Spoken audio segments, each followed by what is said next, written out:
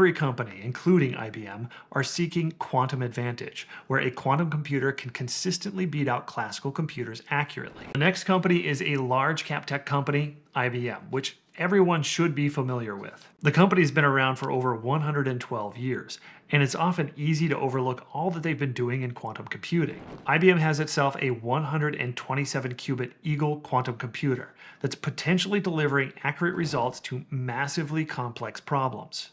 Just so you understand, the more components known as quantum bits or qubits that a quantum computer has linked together, the more basic computations known as quantum gates it can perform in an exponential fashion. Every company, including IBM, are seeking quantum advantage, where a quantum computer can consistently beat out classical computers accurately. Even though some articles make the claim, it just hasn't happened yet. And IBM has set itself in a high position in quantum computers with its own designed chips and operating software. And they have made commercial strides with over 210 businesses leveraging their services. Sadly, the IBM stock has been completely flat for the past five years and I can't say for certain if quantum computers is going to give them massive upside or not. But overall, they are a very safe hedge with a proven track record.